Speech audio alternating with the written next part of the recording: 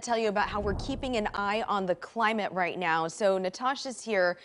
You know, we've heard that we had a La Nina winter last year, and then you said we're going to have a La Nina winter this year. So we're all thinking, okay, it's back to back, and we're looking ahead to winter. What's this going to mean in terms of rain? And then, of course, that possibility of snow. When we get snow, it really shakes things up around here. Oh, big time. You know how it goes. If we just get one inch of snow here in Portland, the whole city shuts down. Yes. So it is a big concern. Could we see a repeat of last year? Well, when we're talking about La Nina during the winter, we have above normal rainfall, precipitation, and generally cooler than normal conditions. So that's the general pattern. So if we take that into account, well, let's think if we have back to back La Nina winters, is that significant or is that just a thing and whatever? It doesn't really mean anything. Well, we're diving deeper into that. Let's take a look, first of all, yeah, remember this February? It wasn't too long ago where we had 10.1 inches of snow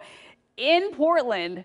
And a lot of you also had to deal with that ice storm. So could we see more of this? Because our average annual snowfall for Portland is only four inches. That's way above four inches. Well, when we've had back-to-back La Ninas in the past, let's just deal with the recent past, going back to about 2010.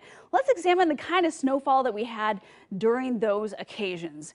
So if we put it into perspective here, look at all the yellow numbers. Those are the above normal snowfall totals for the season in Portland. So that being, of course, most recently the 10 inches that we had in February. And then you go back to 2017, 7.6 inches. And then you dial it back even further to 2016. We had over 11 inches of snow for that time period. But here's the thing. Then you go back to 2010. Those were also back-to-back -back La Nina winters.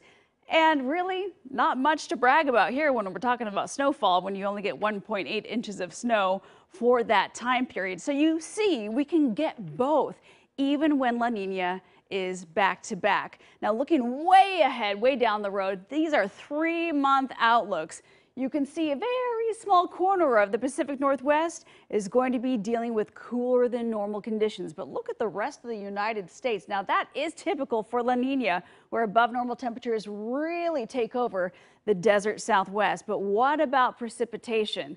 As you look right here, right around the northwest over to Montana, wetter than normal. That's what we're expecting going into the next three months. Does that mean snow in Portland? We'll have to, of course, wait and see about that. If you want to learn more about the subject because we go really in depth, go to koin.com forward slash climate. I'll have more on your weather coming up in just a few minutes. And of course, we know we can expect the rain. Thanks, Natasha.